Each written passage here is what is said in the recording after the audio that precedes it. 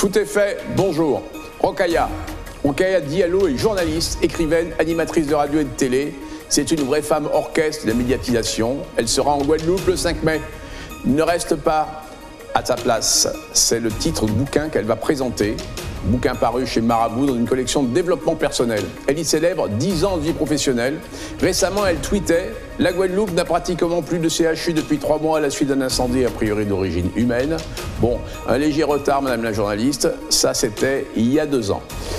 Eric, président de Cap Excellence, Éric Jalton, qui est aussi maire des Habits, ne cesse d'expédier des communiqués pour excuser le fait qu'on coupe l'eau dans telle ou telle section, long communiqué en forme de plaidoirie pour avouer une impuissance chronique à résoudre ces problèmes d'eau qui nous empoisonneront, soyons-en sûrs, encore longtemps.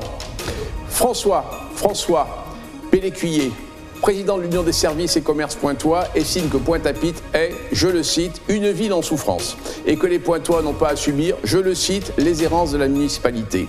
On peut se poser la question. Avec 80% de logements sociaux à Pointe-à-Pitre, la ville peut-elle se sortir de l'impasse dans laquelle elle semble coincée? Les occupants de ces logements sociaux ne peuvent redynamiser le centre-ville, y faire leurs courses. Ils n'ont pas d'argent, juste un bulletin de vote.